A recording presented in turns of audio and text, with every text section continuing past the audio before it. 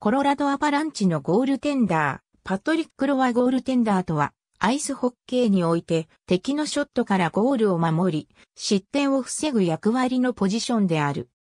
サッカーなどの球技においても同様のポジションが存在し、ゴールキーパーと呼ばれることもあるが、アイスホッケーでは特にゴールテンダー、ゴーリー、さらに英国式にはネットマインダーと呼ぶ場合もある。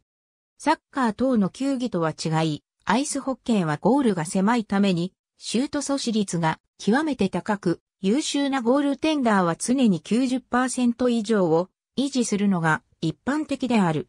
これは10本シュートを打たれても9本はセーブするという確率になる。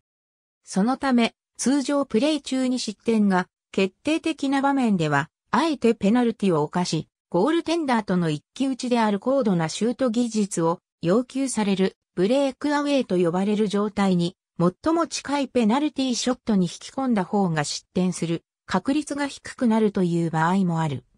ホッケーリンクにおいては、ゴールネット前のゴールクリーズと呼ばれる場所を定位置としている。かつてはマスクなしで試合に出場することが許された時代もあったが、今日では敵の放つショットの強烈な衝撃から体を守るためにゴールテンダーは口述のような特別な防具を着用すべきとされている。ゴールテンダーはゴールを守る役割を持っており、他の選手にはない特権が与えられている。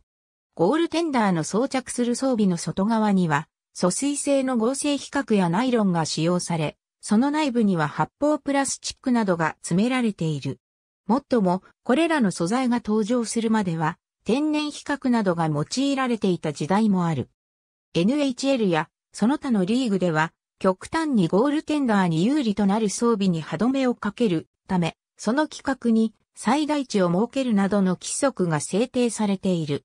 ブロッカーは一般的にスティックを持つ側の手に装着される装備であり、手の甲の部分に四角い板状のものがついたグローブである。俗にワッフルと呼ばれることもある。旧式の型のものには素材に天然比較が使用されており、軽量化のためのくぼみが施されており、その形状がケーキのワッフルに似ていることに由来する。大抵のゴールテンダーは体に一つのブロッカーしか装着しないが、ダンブラックバーンは怪我で神経に損傷を受けトラッパーの開閉が不自由になってから二つのブロッカーを装着してプレイしている。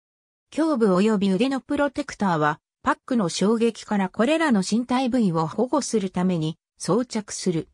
通常はホッケージャージーの下に装着されるため、試合において観客の目に触れることは稀である。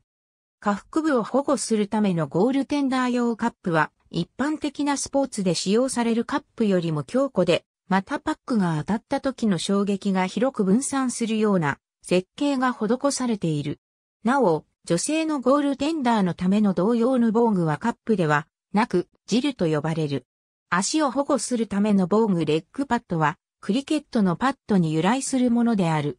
典型的なレッグパッドの大きさは、幅10インチから12インチ、膝上に伸長した部分の長さは4インチから8インチといったところである。マスクの形状は使用された時代によって大きく変遷している。初期の頃一般的に使用されたマスクは、顔の表部分だけを覆う、面のような形状で、素材にはファイバーグラスが用いられ、目、鼻、口の部分及び通気用の穴が開いているものであった。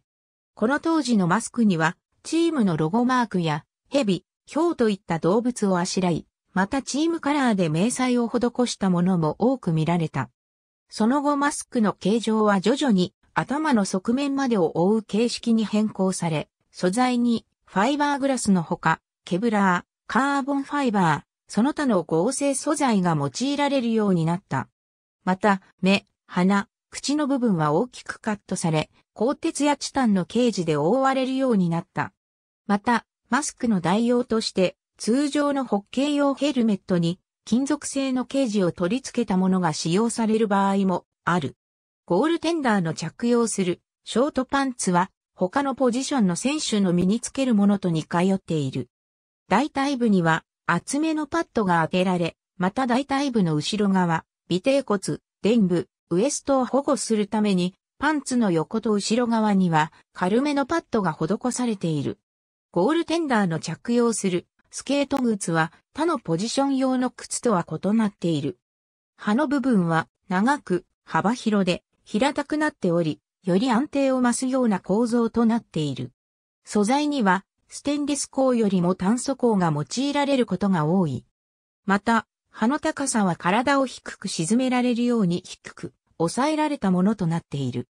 一方、他のポジション用の靴では、アキレス腱を保護するために、かかとから上部に向かって靴の後部が長くなっているが、ゴールテンダー用には、このような処置はされていないことが一般的である。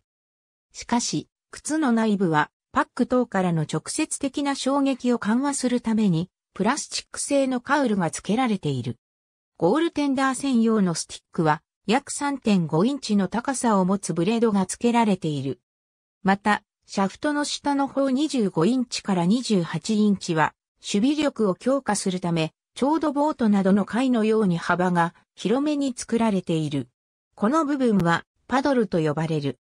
初期の時代のスティックはすべて木製であったが、後にはグラファイトやファイバーグラスで強化されるようになり、パドルやブレードの部分には軽量化のため、発泡プラスティックが注入されるようになった。さらには、耐久性を求めスティックをすべて合成素材から作る製造業者もいる。トラッパー、キャッチャーないしは、キャッチグローブと呼ばれる装備は、スティックを持たない方の手にはめるグローブの一種である。形状は野球のミットに似ているが、空中を時速 160km で飛んでくるパックを直接受け止めても問題ないよう、サイズはより大きく頑丈にできており、パックを受け止める部分のくぼみも深い。